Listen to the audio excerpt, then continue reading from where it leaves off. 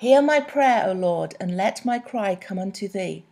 Hide not thy face from me in the day when I am in trouble. Incline thine ear unto me in the day when I call, answer me speedily. For my days are consumed like smoke, and my bones are burned as a hearth. My heart is smitten and withered like grass, so that I forget to eat my bread. By reason of the voice of my groaning, my bones cleave to my skin.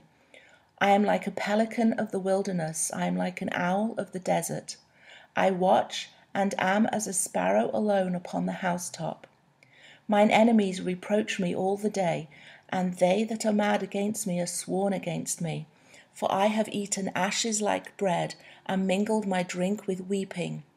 Because of thine indignation and thy wrath, for thou hast lifted me up and cast me down. My days are like a shadow that declineth, and I am withered like grass. But thou, O Lord, shall endure for ever, and thy remembrance unto all generations.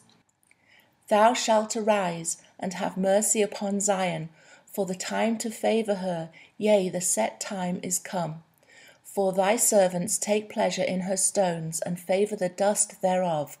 So the heathen shall fear the name of the Lord, and all the kings of the earth thy glory. When the Lord shall build up Zion, he shall appear in his glory. He will regard the prayer of the destitute and not despise their prayer.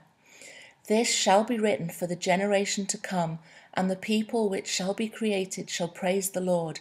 For he hath looked down from the height of his sanctuary, from heaven did the Lord behold the earth, to hear the groaning of the prisoner, to loose those that are appointed to death, to declare the name of the Lord in Zion, and his praise in Jerusalem when the people are gathered together and the kingdoms to serve the Lord. He weakened my strength in the way, he shortened my days. I said, O my God, take me not away in the midst of my days.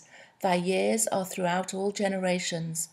Of old hast thou laid the foundations of the earth, and the heavens are the work of thy hands.